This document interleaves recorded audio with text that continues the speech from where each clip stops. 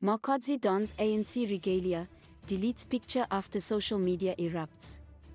Makhadzi is never out of the headlines. She recently had a successful show in Botswana, and she is back in South Africa.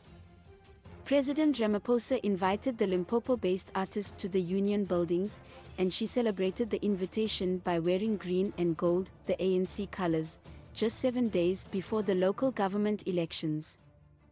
The Twitter post caused debate and was removed by Makhadzi just an hour after posting it. Makhadzi took to Twitter to celebrate her invitation with a caption, honoring my invitation by President Ramaphosa. Makhadzi's ANC-inspired dressing divides South Africa. The picture did not sit well with some South Africans as they believe Makhadzi is campaigning for the ruling party, unfairly influencing her fans.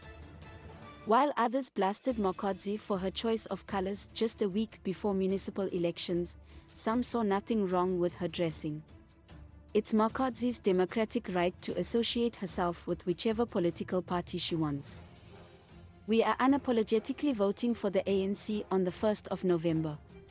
You can vote ANC out without using intimidation, posted a Twitter user.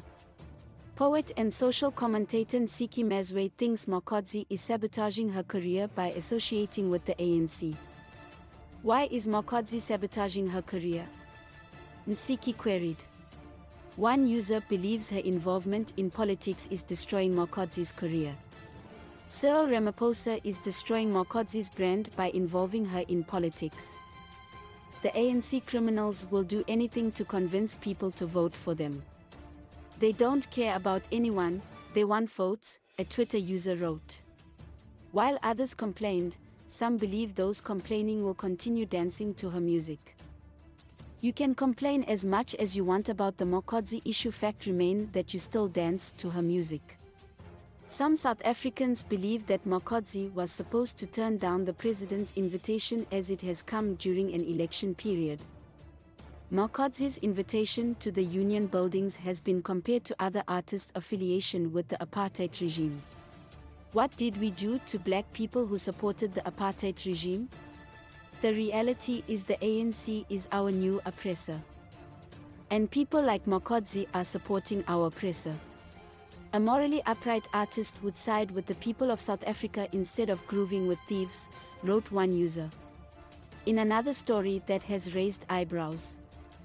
Another Limpopo-based artist King Monada joined Makhadzi on stage as she performed the hit song Ghanama while wearing an ANC t-shirt.